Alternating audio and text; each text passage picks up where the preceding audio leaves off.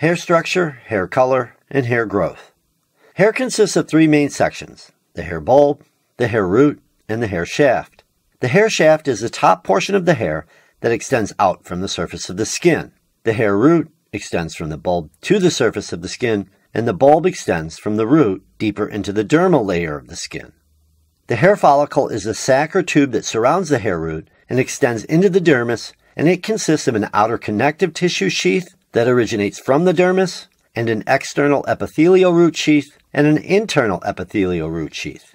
At the bottom of the follicle in the hair bulb is the germinal matrix, which consists of epithelial cells.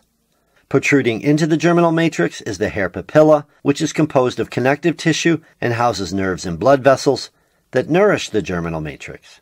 Melanocyte cells are also located in the germinal matrix, and they produce the pigment that gives hair its color. The hair blade consists of three sections the medulla, located in the middle, the cortex, and the cuticle.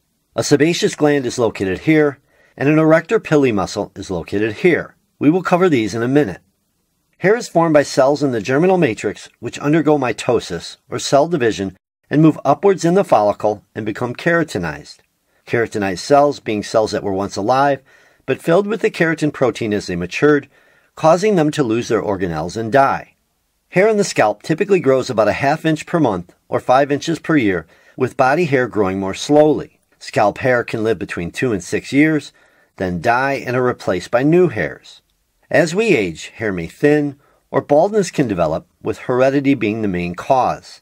Hair color is determined by the melanocyte cells mentioned earlier. Melanocytes release the pigment melanin, which enters into the keratinized cells and gives the hair its color. There are two types of pigments that are released a dark eumelanin and a lighter pheomelanin, which blend to form a wide range of colors. Hormonal and environmental factors can contribute to hair color as well. And as we age, melanin production decreases, which makes hair appear gray, and eventually melanin production completely stops, producing white hair.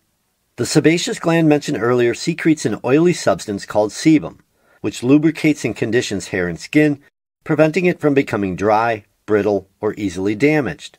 And the arrector pili muscle is activated as a response to an emotional state or cold temperatures.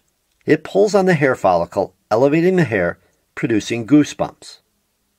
And that be the basics on hair structure, hair color, and hair growth.